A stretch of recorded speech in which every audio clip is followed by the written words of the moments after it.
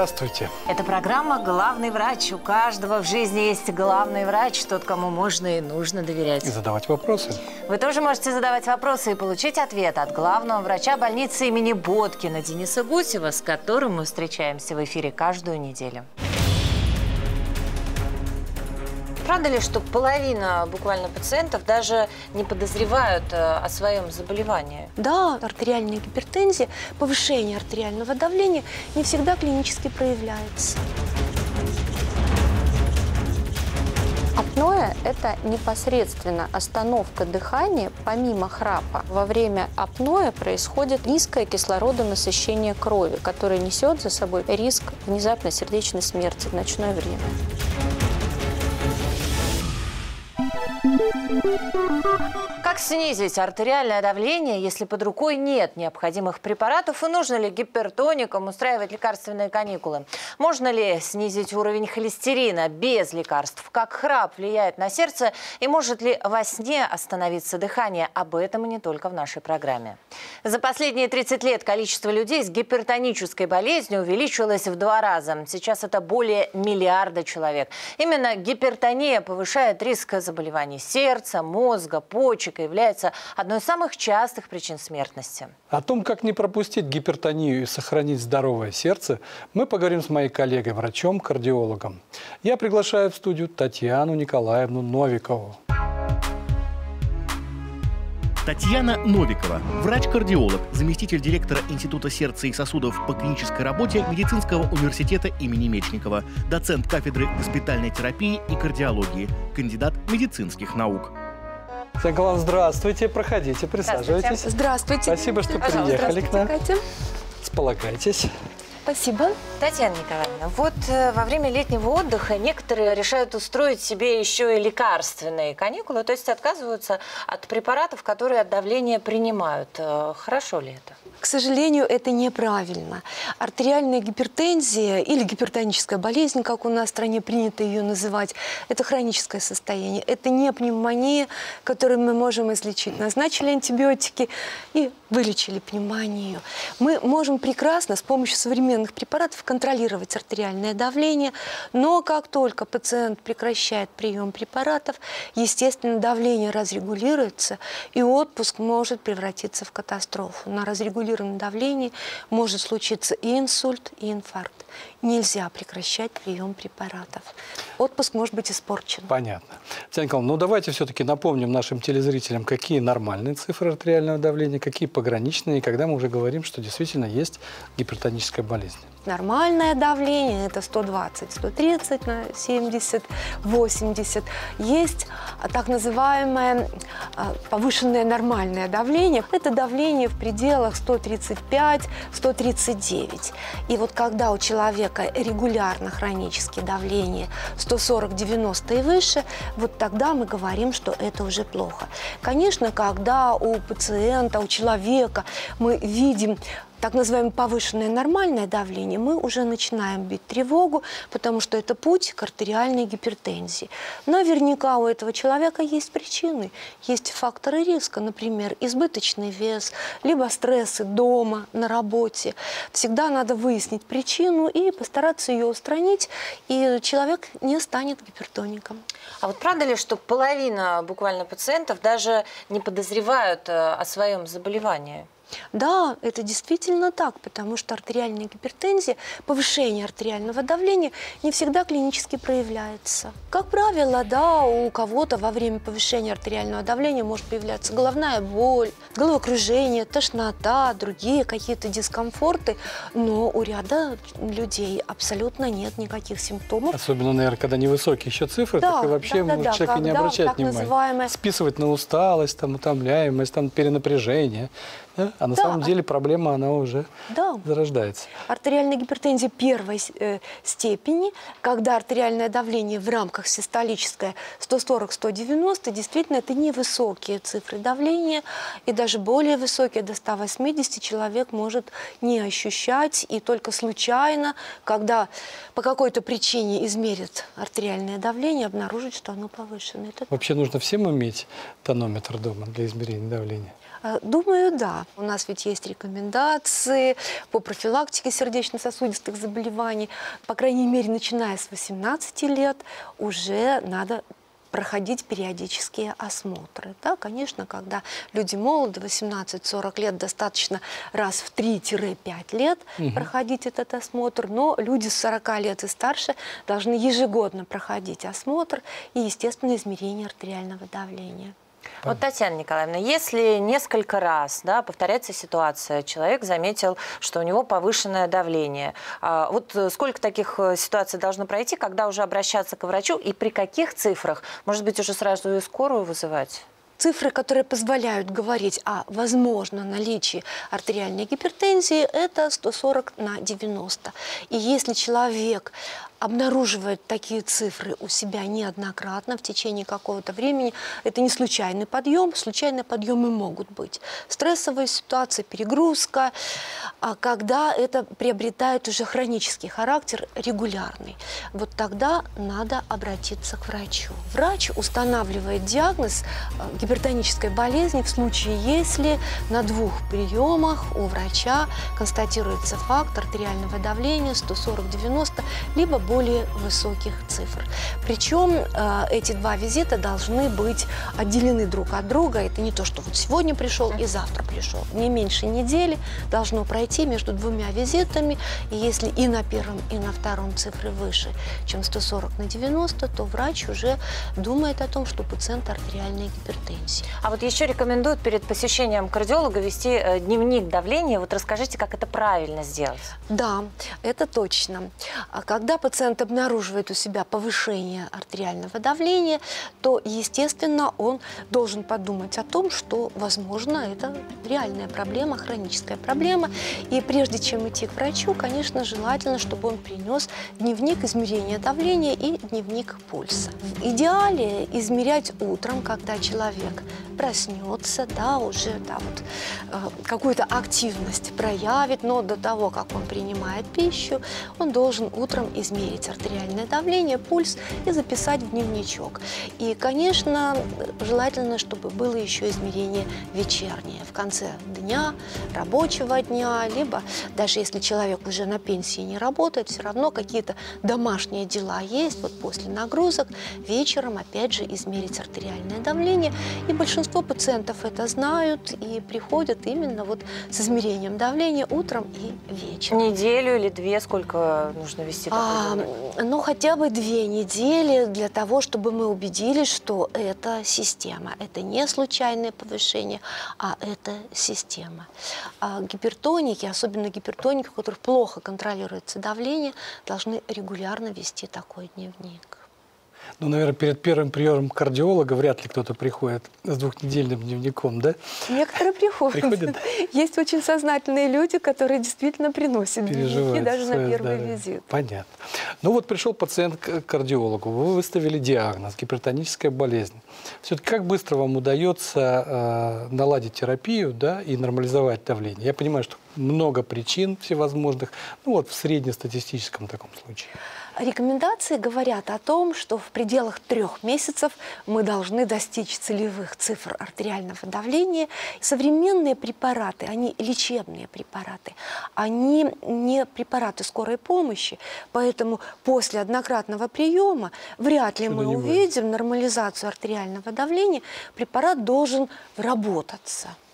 И сейчас же в основном комбинированные препараты, наверное. Да, на старте мы назначаем уже два препарата, и для того, чтобы приверженность была достаточно высокой, это фиксированная комбинация из двух Од- препаратов. а, и однократный прием. Однократный прием, одна таблетка. Максимально удобно для пациента. да.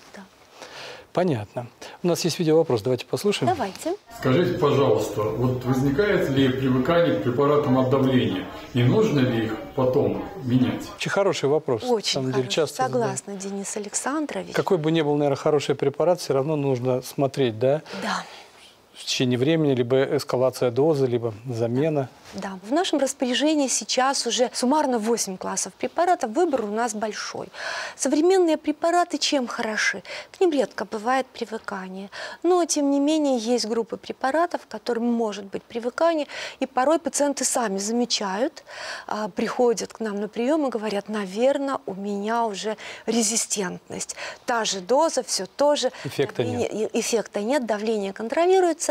В этом случае надо перейти, наверное, правильнее не увеличивать дозу этого препарата, которым развилась резистентность, а перейти на другой класс препаратов. К счастью, их много в нашем распоряжении. Понятно. А вот такая ситуация. Идет терапия, человек чувствует себя хорошо, давление нормализовалось. Например, вот э, через полгода можно закончить прием таблеток. Артериальная гипертензия – это хроническое состояние. Предрасполагают генетические факторы к формированию артериальной гипертензии, поэтому, скорее всего, не получится. Мы прекрасно контролируем давление, но, к сожалению, как только терапия прекращается, тут же давление возвращается на круги своя. Побочные эффекты у современных препаратов есть? Их немного. Немного? Современные препараты почти лишены побочных эффектов. Есть класс блокаторов а, кальциевых каналов. А, это замечательный класс. Он представлен в основном препаратом амлодипином современным. Прекрасный препарат. Протективные эффекты. Вот в плане профилактики атеросклероза очень хорошие. Но он очень сильно расширяет периферические сосуды. Для контроля давления это прекрасно. Но у пациентов могут появиться периферические отеки. Да, и это порой пугает пациентов. У нас пациенты образованные. Они в интернете читают, появились отеки, это сердечная недостаточность. На самом деле может не быть никакой сердечной недостаточности. Это побочный эффект вот этой замечательной группы препаратов. Но опять же подсказка пациентам нашим, которые нас слушают. Отеки, которые появляются на блокаторах медленных кальциевых каналов, э, это в основном голени. Сердечные отеки, стопа и выше. Поэтому уже сам пациент может разобраться. чего Сориентироваться. Да. И группа замечательных препаратов для контроля давления, ингибиторов ангиотензин превращающего фермента. Великолепно контролирует давление, великолепные протективные эффекты, но сухой кашель. Как аллергическая какая-то такая, да? Да, по типу аллергической реакции. Бета-адреноблокаторы могут вызывать замедление пульса, но, как правило, не требуется даже отмена, просто уменьшение дозы. Но это уже, как правило, врач решает на первом приеме и выбирает. Есть бета-блокаторы, которые хорошо переносятся и астматиками. Врач уже выберет специально. Селективная. Да.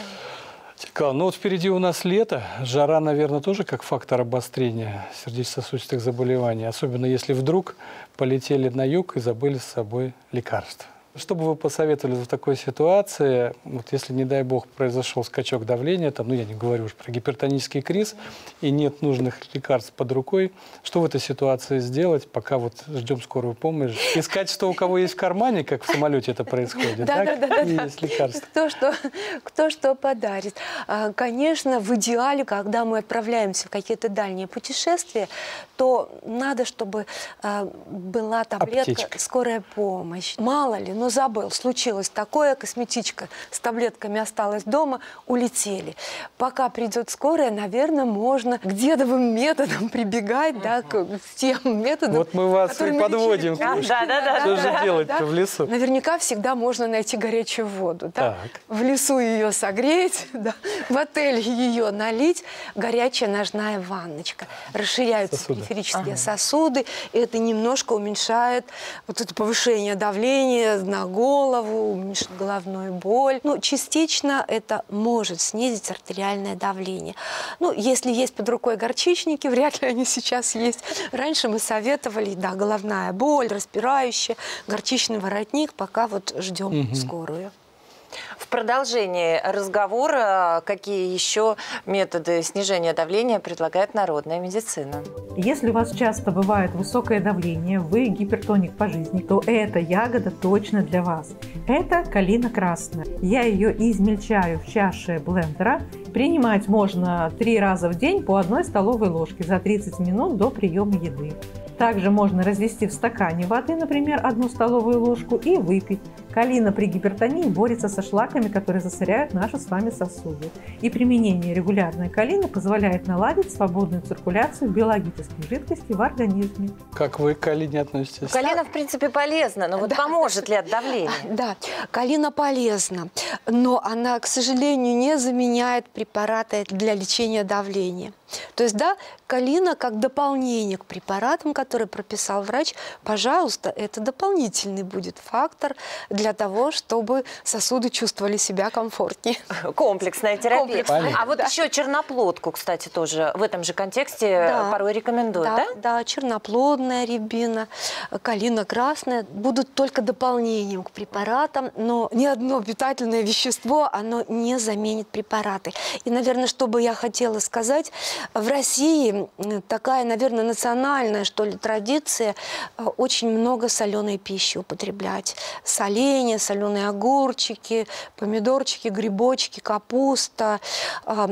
А, И, как правило, вот в среднем, я читала статистику, что в среднем русский человек 11 граммов соли употребляет вот за день. В то время как физиологическим считается количество 5 граммов. То есть мы очень сильно злоупотребляем соленой пищей. Поэтому кроме калины, черноплодки, это, конечно, не досаливать пищу. Засаливать. Татьяна Николаевна, а вот э, как предотвратить гипертонию? И можно ли это сделать вообще? Можно. И нужно это сделать. Так. Гипертония ведь не появляется на голом месте. Гипертония появляется потому, что, ну, прежде всего, есть генетическая предрасположенность, в частности, недостаточный синтез натритических пептидов. Это, это эндогенные вещества, которые расширяют сосуды, облегчают работу сердца. Либо недостаточное образование активных форм этих пептидов. Это генетика. Но генетика – это не приговор. Она проявляется на фоне поведенческих каких-то реакций самого человека, на фоне неблагоприятных факторов внешней среды. Поэтому если у человека в семье кто-то страдает артериальной гипертензией, родители, э, близкие родственники, человек должен знать о факторах риска. Прежде всего, это поведенческие факторы, малоактивный образ жизни когда человек сидит за компьютером и не встает от компьютера. Сейчас же удаленная работа, Да. проснулся, позавтракал к компьютеру, до ужина за компьютером и в постель. Еще и постоянный прием пищи. Такой. Да, да, да, да. А, Это Денис Александрович. Вторая, вторая поведенческая деталь а, – это неправильное питание. Да, злоупотребление фастфудом, злоупотребление соленой пищей, курение – тоже очень мощный фактор развития артериальной гипертензии. А, Курение вызывает дисфункцию эндотелия сосудов и способствует формированию артериальной гипертензии. Еще один поведенческий фактор – это злоупотребление спиртными напитками. Разумные маленькие дозы не запрещены, а злоупотребление проявляет вот ту генетику, которая есть у человека. А теперь, если еще все эти факторы собрать Вот. у одного гражданина, то 200% будут проблемы. Да, и плюс генетика, то будут проблемы. Но я знаю людей, а, которые на каком-то этапе своей жизни, когда у них, да, еще не гипертония, а тенденция к повышенному нормальному давлению, когда они, глядя на своих родственников, у которых уже случились инфаркты, инсульты, была гипертония, устраняют эти факторы риска, и они не становятся гипертониками. Хорошо. Татьяна Николаевна, скажите, пожалуйста, вот нередко гипертоническая болезнь сочетается вместе с атеросклерозом сосудов, не только коронарных, да, вообще сосудов головного мозга, там, не знаю, всего организма.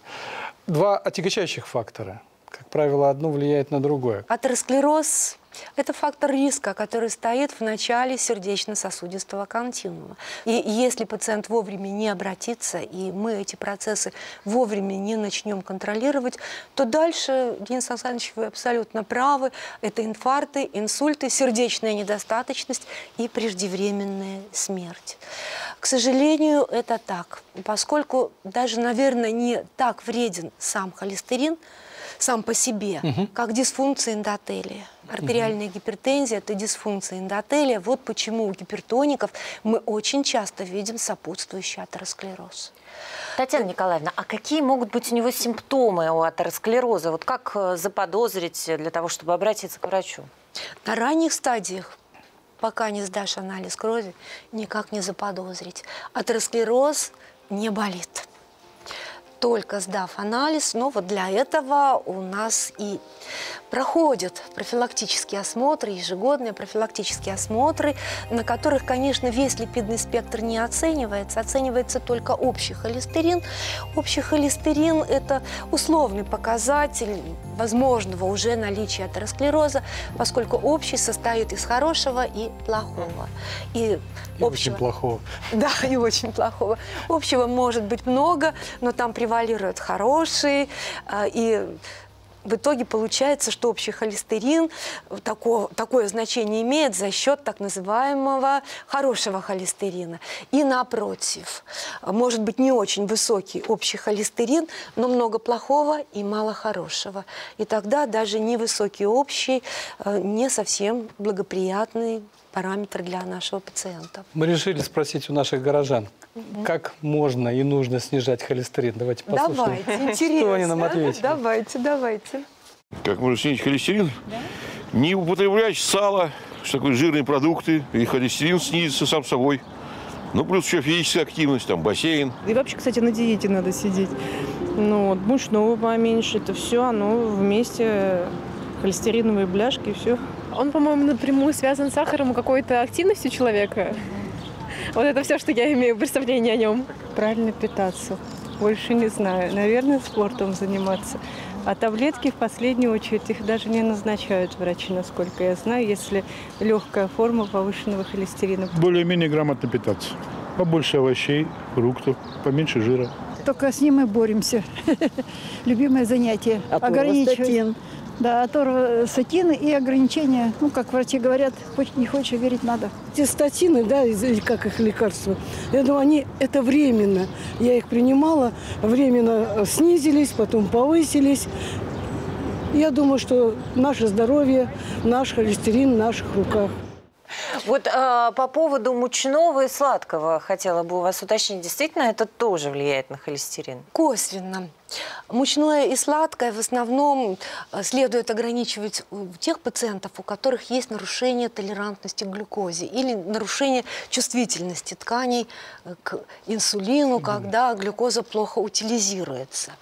А если у пациента с углеводным обменом все хорошо, то тогда, наверное, это не столь принципиальная диетическая погрешность вот для такого пациента. Ну, а в целом, как питание влияет?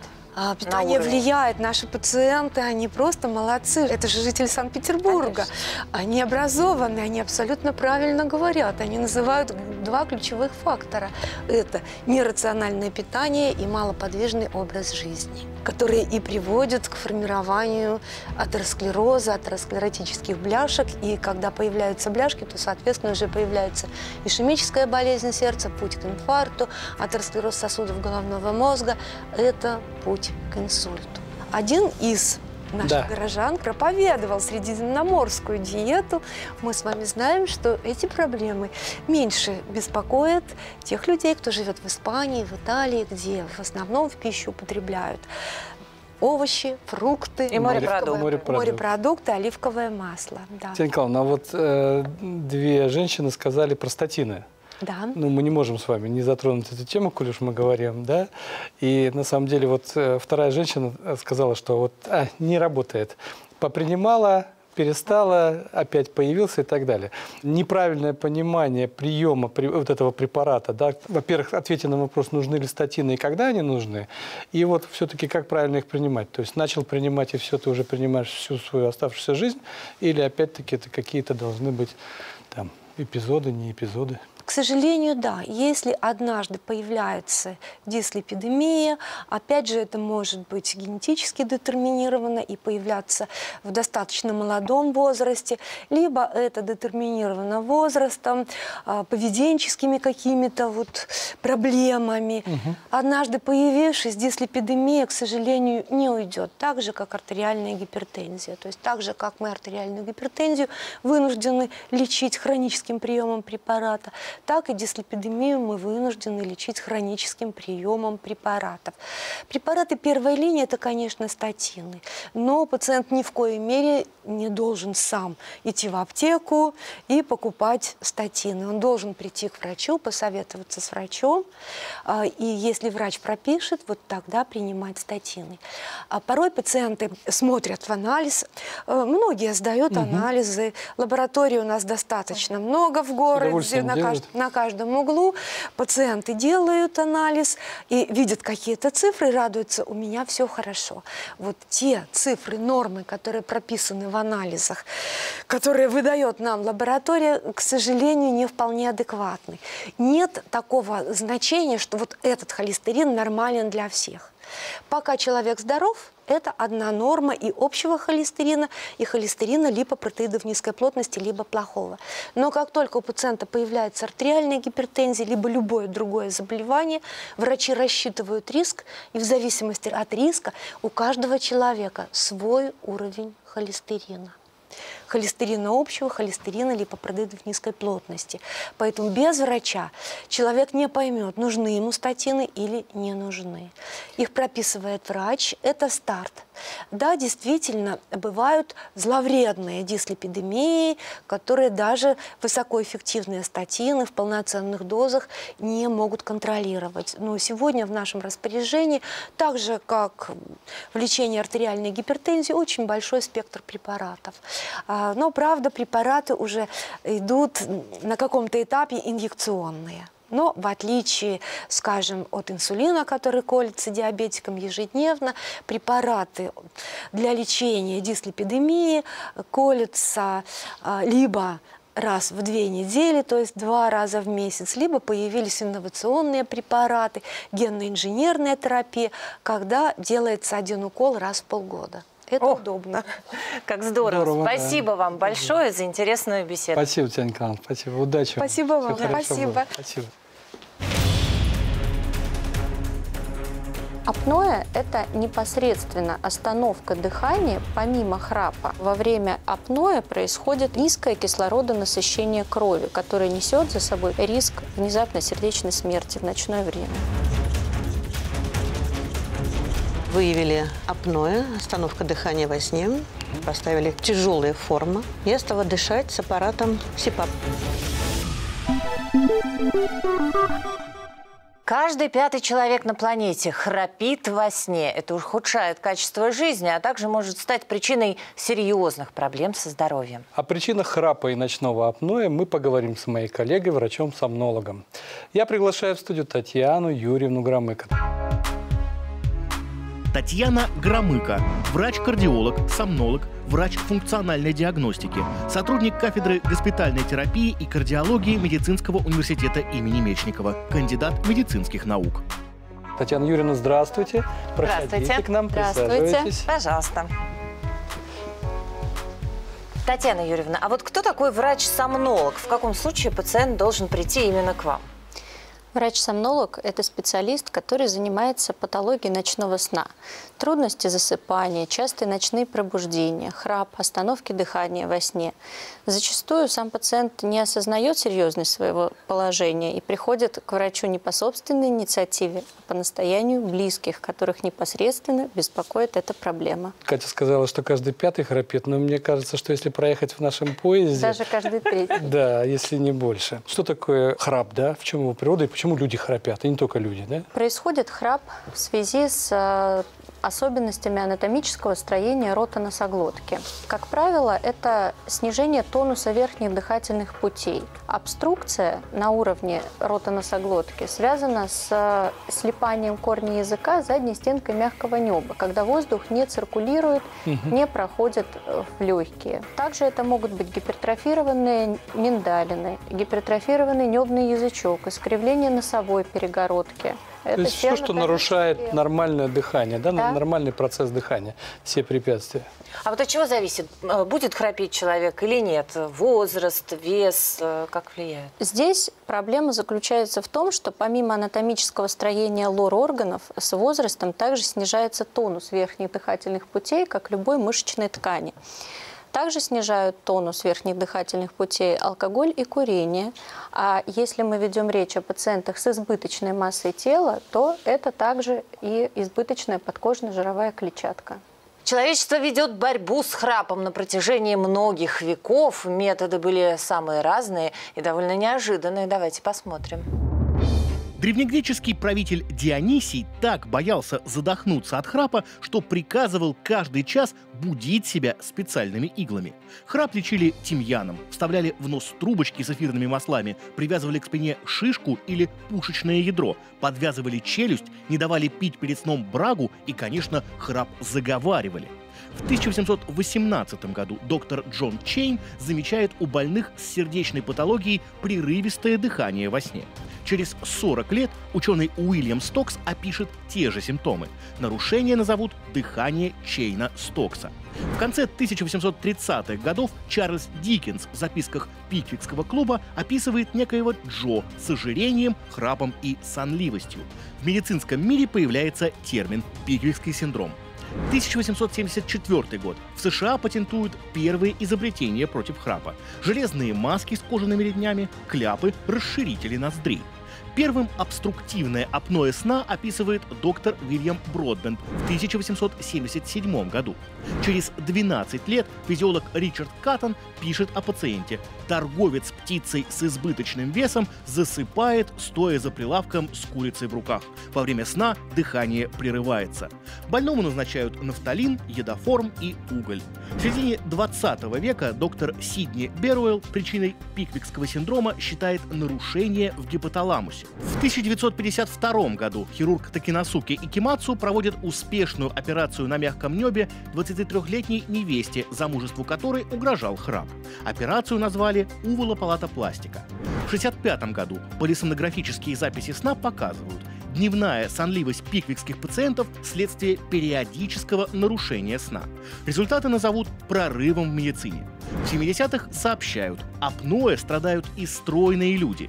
Хирурги предлагают метод трахеостомии. В 1981 году австралийский профессор Колин Салливан больным с обструктивным апноэ компрессором подает воздух через специальную маску. Новый метод СИПАП-терапия становится золотым стандартом лечения. В 21 веке сложные нарушения также лечат с помощью углекислотного лазера.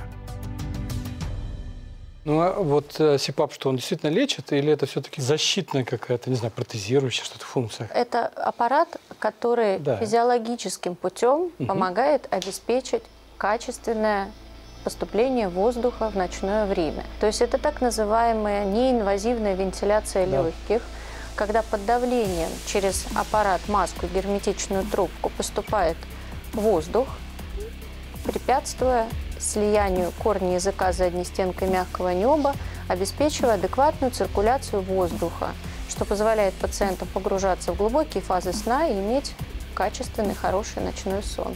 Но это же не лечит, правильно? Это все равно как бы, ну, избавляет от проблемы. Это избавляет от... В тот момент, когда человек дышит через эту маску. Безусловно. Правильно? То есть как бы говорить о том, что это лечение, наверное, это не лечение все-таки. Когда пациенты спрашивают, до каких пор мы, ага. нам нужно спать с этим аппаратом, да. я всегда отвечаю, что до тех пор, пока не произойдет какого-либо эффективного способа модификации образа жизни, помимо этого аппарата.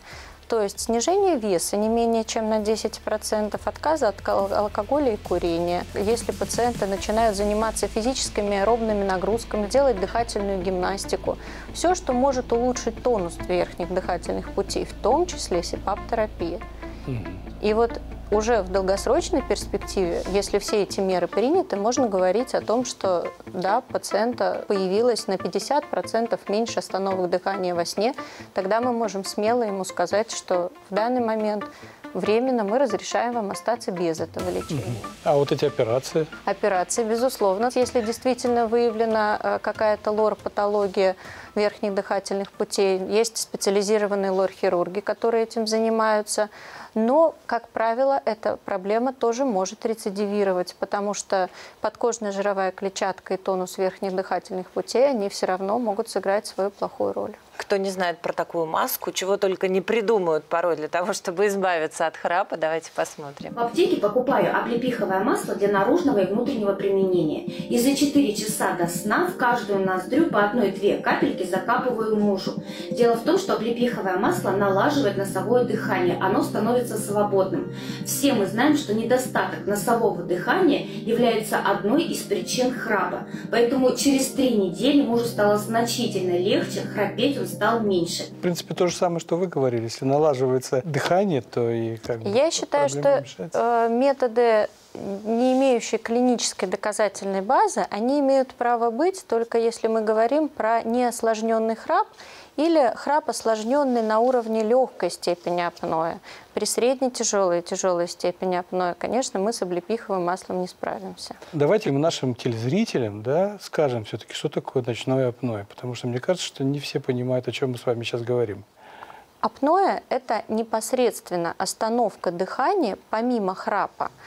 Это может быть вместе с храпом, угу. это может быть отдельной проблемой. Угу. Они, в общем-то, не всегда существуют вместе. Угу. Поэтому если происходит апноэ, то причиной тому является обструкция, когда корень языка смыкается плотно с задней стенкой мягкого неба во время положения на спине угу. или в положении на боку, но в ночное время. И воздух не может проникнуть Закрывает. в верхние дыхательные пути. Да, происходит э, закрытие потока адекватного В чем опасность воздуха. этого состояния? Опасность этого состояния заключается в первую очередь в повышенной дневной сонливости этих людей. Если они не могут адекватно ночью спать, погружаясь в глубокие фазы сна, у них днем появляется компенсаторное желание уснуть. Уснуть в, в любых ситуациях, на работе, за рулем. Это бывает порой очень трудно контролировать людям самостоятельно. Они просыпаются утром с головной болью, с повышенным артериальным давлением, не понимая, что причиной тому является некачественный ночной сон. Также, если эта проблема апноэ существует, у них не происходит адекватных обменных процессов в ночное время, в глубокие фазы сна, и поэтому днем появляется повышенный аппетит, и пациенты набирают вес.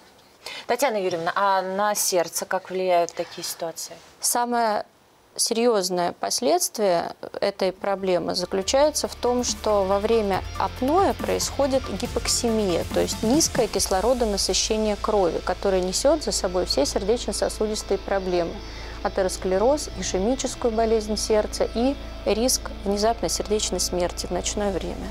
Понятно. Ну, давайте тогда еще, Татьяна расскажем нашим телезрителям, как это выглядит обследование, что это за методики и так далее, в двух словах. После сбора анамнеза мы рекомендуем проводить кардиореспираторное мониторирование. Это анализ кардиограммы в течение суток, и также на ночь пациент одевает носовые конюли для фиксации дыхательного потока и пульсоксиметр на палец, который регистрирует ту самую угу. сатурацию кислорода, насыщение крови, которая для нас очень важна. Пациент уходит с аппаратом домой, ведет обычный образ жизни, спит с ним.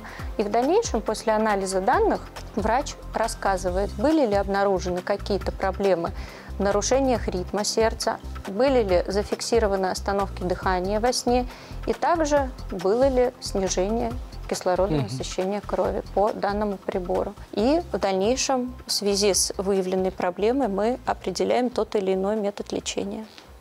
Давайте еще посмотрим, э, какие есть э, альтернативные методы лечения. От храпа есть хорошая гимнастика. Храп – это обвисание неба э, язычка неба, вот, который у нас внутри рта есть, он обвисает со временем, и когда человек спит, он храпит. Вот чтобы исправить это, нужно сделать зарядку. Берем внутри рта язык и подтягиваем туда внутрь. Как бы напрягаем вот это место, вот здесь мышцы напрягаются. И если вот такое упражнение делать по 10-15 минут в день, просто сидим, вот что-нибудь делаем и подтягиваем язычок. У вас на мышцы начнут, э, станут очень упругими, и храп пропадет. Чего только не придумают. Как ваше мнение? В борьбе с недугом. Это не единственный способ тренировки тонуса верхних дыхательных путей. Существуют также другие дыхательные э, упражнения и практики для улучшения тонуса мягкого неба. То есть все-таки вот Это существует, да, есть, существуют да, методы гимнастики, безусловно, и мы об этом рассказываем пациентам тоже. Но это лечение, которое не даст эффекта через неделю или через месяц. Это должно быть регулярное, два раза в день, по 10-15 минут на протяжении как минимум года тренировка, чтобы в дальнейшем вести речь о том, что она сыграла какую-то роль. Но, опять же, если помимо этого мы избавились от других причин, таких как избыточная подкожно-жировая клетчатка и э, проблема лор-патологии, которая не исправится только одной гимнастикой. Сейчас к нам в студию придет ваша пациентка, которая избавилась от храпа. Светлана Ивановна, здравствуйте, проходите, присаживайтесь. Здравствуйте. Спасибо, Здравствуйте. что пришли к нам. Здравствуйте. Мы сегодня обсуждаем проблему храпа. Вам знакома такая проблема? Знакома. Ну, расскажите нам тогда, когда у вас появился храп, как вы с ним боролись? Ну, появился где-то, наверное, меньше года назад. Деликатная проблема, согласен. да, и для меня, и для моих домашних. Поэтому я обратилась к своему доктору, Татьяне Юрьевне, э, с этой проблемой.